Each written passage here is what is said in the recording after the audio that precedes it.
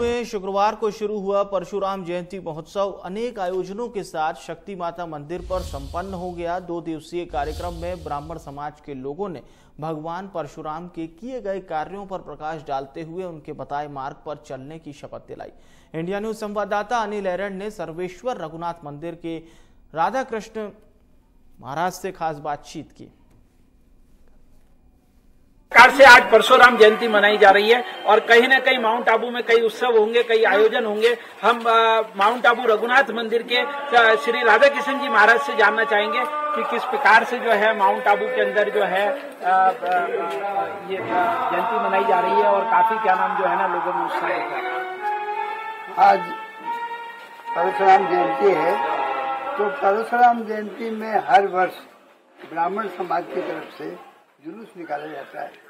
रघुनाथ जी मंदिर से शक्ति माता तक जुलूस निकलेगा, बड़े धूमधाम से भजन के साथ में, बैंड बाजा के साथ में सब पूरा समाज इकट्ठा रहेगा।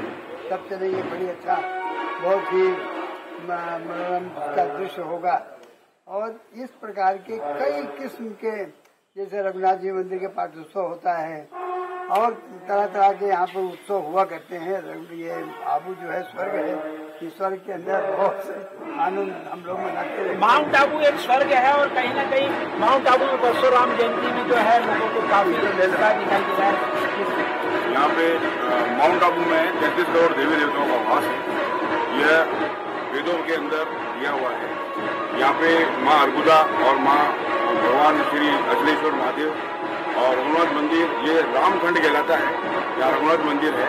हम आज ब्राह्मण समाज की तरफ़ से परशुराम जयंती मनाने जा रहे हैं, जो शोभा यात्रा 10 बजे यहाँ से निकलेगी और यहाँ से हमारा जो प्रांगण है, शक्ति माता मंदिर, हम लोग वहाँ पहुँचेंगे।